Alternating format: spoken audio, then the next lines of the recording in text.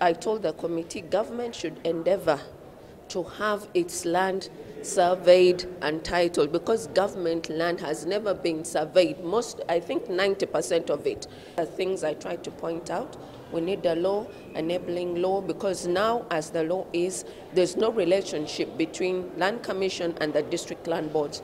They operate entirely on their own they're independent. So now when you bring the lower tribunals as well, they're not under the Land Commission, so we should have a law. The task ahead, well, it's a large one because we find there, there's a backlog of people who are supposed to be compensated.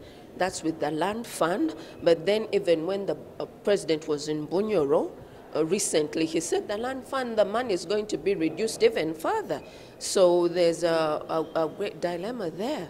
How are we going to really move ahead when we don't have the logistics to move on?